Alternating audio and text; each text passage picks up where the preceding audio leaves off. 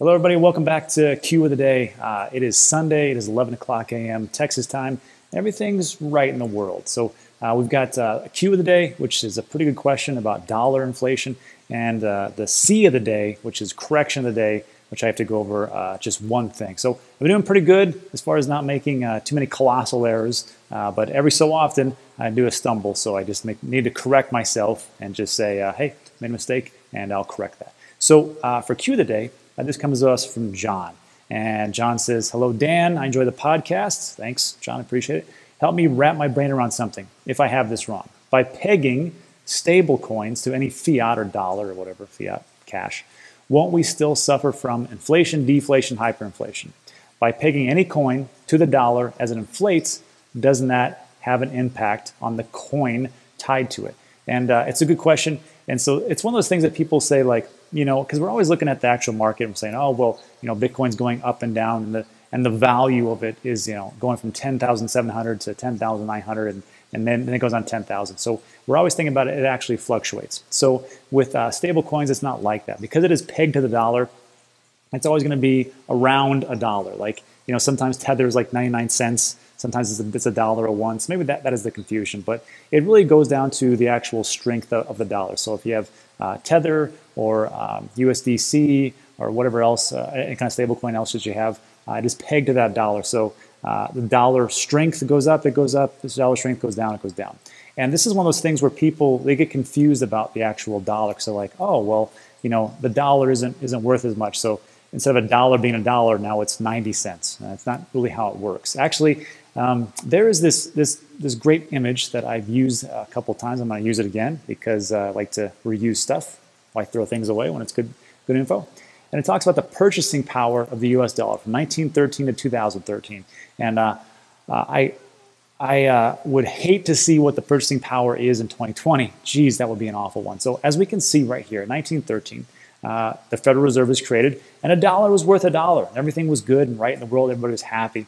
And uh, this is when you get your grandparents going, you know, I could have bought a car for a nickel or whatever else. And, you know, maybe they could have because, you know, the dollar was worth so much uh, back then. I mean, I'm just kidding. It wasn't worth a dollar. But, uh, but you can see as uh, uh, time went on, it just kind of collapsed. And that's around 1920, 1918. And then, of course, in 1933, FDR's executive order makes it illegal to hold coins, bullions, or certificates. So it went a little up, up a little bit. And then, of course, then it started to go down. 1944, Bretton Woods established the USD as the world reserve currency.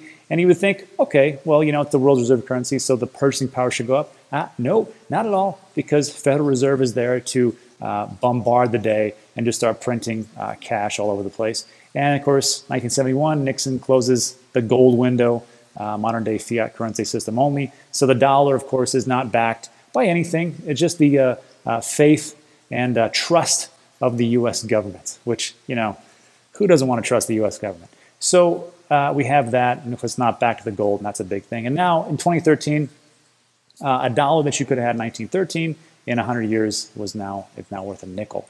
So here is the problem um, with the dollar losing its purchasing power and all the, uh, the Federal Reserve actually printing money. Because when the Federal Reserve prints money, which they did, you know, I think uh, what, two, three trillion, something like that, you know, just a little bit. Um, it doesn't go to me and you first, right? It doesn't like it, it starts getting printed off of them. Here you go. Uh, usually it goes to these big players, these big institutions, the big banks, and then usually a, a large chunk of that money uh, goes to large corporations, conglomerates, and whatever else. So uh, they have all this money, and it hasn't really disseminated throughout uh, the whole economy so hey, they haven't flooded the actual market or you know uh, the, the, economy itself with just dollar bills. So their purchasing power is pretty much on point until they start to inject that uh, into the market by buying whatever they buy. You know, they buy back their stocks, they buy back more assets, or they buy assets, or they buy you know uh, whatever they buy. And uh, then it goes down to like people, you know, like you and me, who just get the scraps, and we're like, hey, thanks. And of course, the dollar comes to us, and we're like, hey, this is now worth three cents. What the heck happened? So as you print more money, this is the problem. So the original question is, uh, it's pegged to uh, these stable coins, so one to one. So it's not going to be like you're going to see like 90 cents, 80 cents, 70 cents. What it's just going to be is that your stable coin, it's stable, just the purchasing power sucks. And that's really what happens. So uh, that's all. That's all for that one. So hopefully, uh, uh, John, thanks for that good question. I really appreciate it. And then let's go on to the C of the day. Now, what you think? So, correction of the day. Uh, there was a post that I put out. Uh, it was about Alex Mascioli. Uh, I'm always talking about on, on, the show because he is, you know, traditional finance, and now he's got into uh, cryptocurrency digital assets, and he's got his pulse on like pretty much what you would call whales and big players in the institution, on top of all the big names in cryptocurrency uh, that he gets on his show. And um, he had a segment where it was it was talking about is Cardano, Chainlink, uh, Theta uh, is about to explode, and then here's some you know they do a bunch of technical analysis, which I must tell you uh, puts me to sleep. But uh, I mean, for for some of you TA people, I know you guys love it, and gals, which are there's not that many many uh, gals on my show. I will I'll just say that because that's just the, the demographics. But uh, when, when, he's doing TA, uh, it was a lot of good information. And uh, Monty, uh, one of the guys from Market Rebellion, he had called Chainlink at uh, like this is when it was like 17, 16, 17, 18 dollars somewhere on there. And he's like, it's going to 1050. I was like, this kid doesn't know what he's talking about. And then of course it went to 1050. And now he's calling for it to actually, you know, run up uh, up to a margin of 25%, and it looks pretty good. They also talk about, like I said, uh, Cardano and Chainlink and everything else, and uh, the different, um, uh, what are they talking about as far as uh, banks and stablecoins. So it was actually all good news. And what I wrote was bad news if you're a holder, check the data. And I put that out on Friday. And while I was trying to rush and get things done, so I was trying to put out, I was trying to put out the video.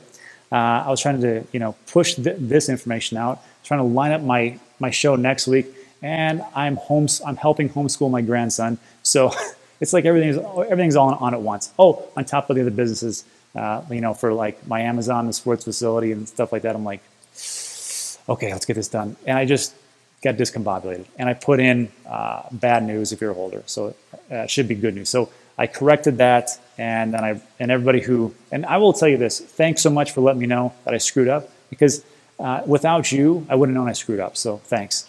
Uh, and so what I did was I just wrote it back to everybody, said, hey, that's my fault, and I changed the title. So uh, that was the C of the day. Sorry about that. And um, I mean, regardless, though, I mean, it was still it's still good information. Like if, it's bad news and, and they talk about the market's going to crash, then maybe you want to start to you know take some of your funds out. I'm not that way. I just invest. I I don't really even care.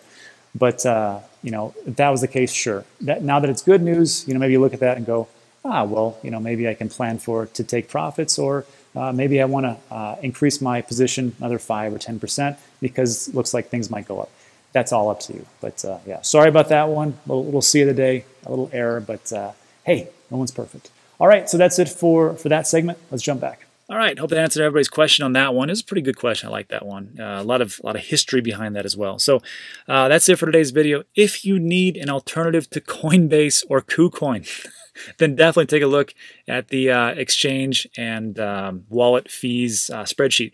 There is a link in every one of my videos in the description. It's to look something like this. And what it does is it breaks down all the different exchanges and wallets and decentralized exchanges that I've ever used or am currently using and if I recommend them or not based on different criteria. And I talk about all the different fee charts and if you're going to uh, get any kind of interest rate just for just for sticking them around or any or any kind of fee for taking them off and swapping or all that stuff.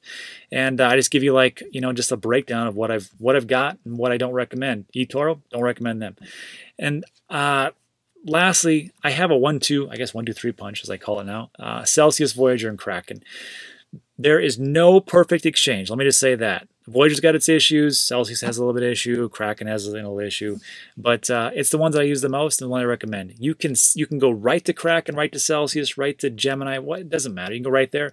But if you use my affiliate links, you can get between 10 and 25 bucks if you sign up, and uh, that's the big thing. So, thanks uh, for sticking around. I really appreciate it, and uh, I'll see you on the next one.